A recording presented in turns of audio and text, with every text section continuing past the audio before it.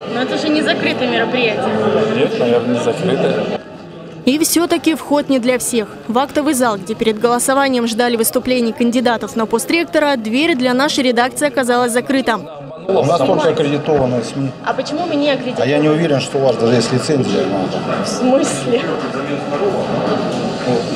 Нет, а почему мы не аккредитованы? До 10.00 была аккредитация на А сайте мы с позавчера к вам бились.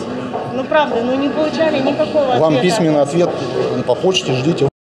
Кстати, запрос на съемку мы оставили в канцелярии вуза за три дня до выборов. А вот требование аккредитации на странице АГУ появилось только в день выборов. И судя по напору, нас в любом случае решили бы не пускать. Причина, скорее всего, в том, что издания нашего холдинга давали возможность высказывать свою точку зрения главному оппоненту Сергея Бочарова, профессору Алексею Тишкину, которого в итоге до выборов не допустили. Перед началом обсуждения мы успели собрать несколько мнений о кандидатах и их шансах. У коллектива, наверное, общее мнение созрело. Это должен быть действующий в Рио Сергей Николаевич Бочаров. Уже практически год руководит университетом.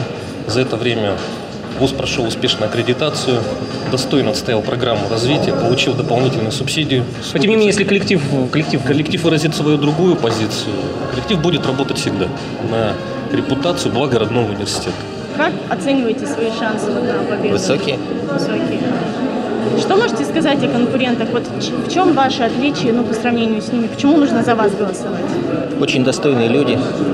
Много лет проработали в ВУЗе, знают его проблемы.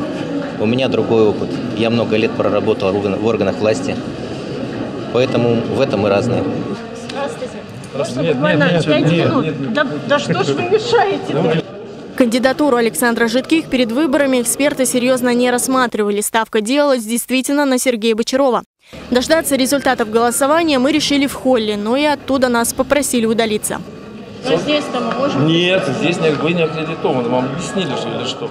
Но мы не понимаете не русский, пройдем. русский Ну, В язык? данном случае, а ну а вы законодательство не понимаете. Я понимаю. Вот идите, снимайте вот там вот где-то на улице рядом. Это тоже территория Алтайского госуниверситета. Пожалуйста. Вы не закрытое учреждение. У нас пропускной режим. Ну У нас есть пропускной режим, и там написано, кто имеет право проходить через вахту. У нас написано там четко. Пойдемте, я вам покажу.